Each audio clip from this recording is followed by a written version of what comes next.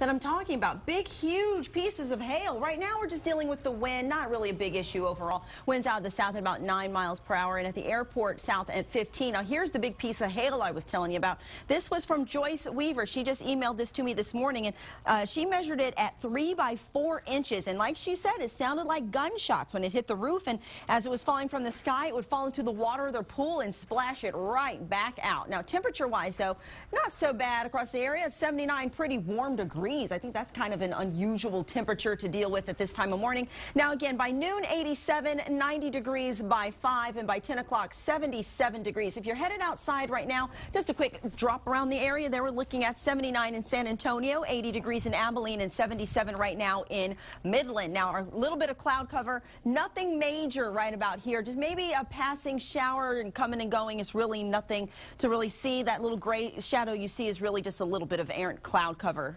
coming and going. That's what's been on our tower cam for quite some time.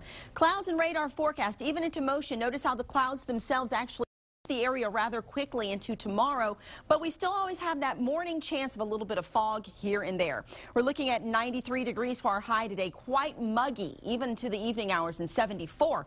The next seven days still are almost carbon copies of each other. We do have another short wave, which is pushing its way towards us, which can give us a 20% chance of a thunderstorm or shower. But then into Tuesday and Wednesday, again, notice how our temperatures really don't get within about three degrees of themselves there, even into the evening hours. Warm nights, warmer days.